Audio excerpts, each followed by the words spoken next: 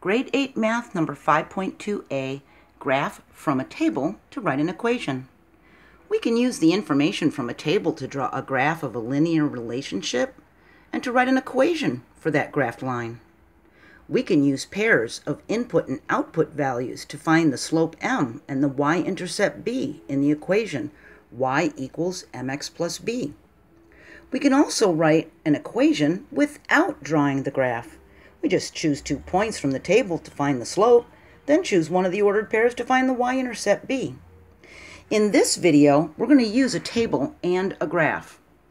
So this table shows the amount of gallons of gasoline in Tala's car as she drives to visit her grandparents.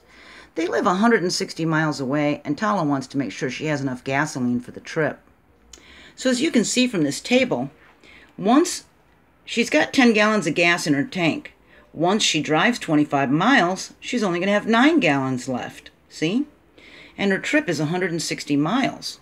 So we're going to graph the data from this table and find the slope and y-intercept from the graph. Then we're going to write an equation for the graph in slope intercept form. So, the first thing we're going to do is graph the ordered pairs from the table. 0, 10, 25, 9, 58, 75, 7, and we graph them. We draw a line through the points. These are the gallons of gas remaining in the tank of her car, and here's the miles driven. We choose two points on the graph, so I chose the first two, to find the slope. And remember, we choose left to right, so that's the first one, x1 and y1, and that's x2 and y2. We always go left to right, okay? So, our first pairs are 0, 10, and 25, 9. That's x1 and y1 and x2 and y2. Now we're going to use the slope formula to find the slope. We have to subtract and do x2 take away x1, ugh, y2 take away y1 and x2 take away x1. Sorry about that. And we do our slope formula, and here's y2, 9. We need to take away y1, 10. 9 take away 10 is a negative 1. Then we have x2, 25, and we take away x1, 0. That gives us 25. So we have negative 1 over 25. And look, we have a negative value for our slope. And as I always say, when it falls to the right, we know it's going to be a negative slope. And look at that, it is.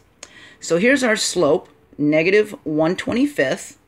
Now we find the y-intercept on the graph by just looking at it. Where does the line cut through the y-axis? Here's the y-axis. Remember, y to the sky. y is the one that goes up to the sky. So the line is hitting the y-axis at the 10. That's going to be our y-intercept. So now we know in our slope-intercept form of an equation, the b is going to be a 10. We use this slope, negative 1 25ths that we found, and the y-intercept 10 to write our equation. So we've got y equals negative 1 25th x plus 10. Well, will Tala have enough gasoline in her car to drive 160 miles to see her grandparents? Yes, she'll still have about three and a third gallons left. Watch. X is the amount of miles that she's driven. So we need to multiply the 160 miles to her grandparents' house by the negative 125th. 1 times 160 is 160, and 25 times 1 is 25, and it's negative. So we have negative 6 and 2 thirds when we simplify it. See? Now we have negative 6 and 2 thirds, and we add 10. Now remember, this is a negative, so when we add the 10, we're going to have a positive 3 and a third. That's how much gas she's going to have left after she gets to her grandparents' house. She's got plenty of gasoline to make it there, doesn't she? She doesn't have enough to make it back home, but that's okay. She has enough to get there, all right? So that's how we graph from a table to write an equation. And now, in the next video, we're going to, what are we going to do? We're going to write it from just a table, okay? So I'll see you there. That'll be 5.2b. And don't forget, I'm on Twitter if you want to request any of these whiteboards or my help in any way, okay? I can put a picture of one of these whiteboards up there. I'll see you next video. Bye.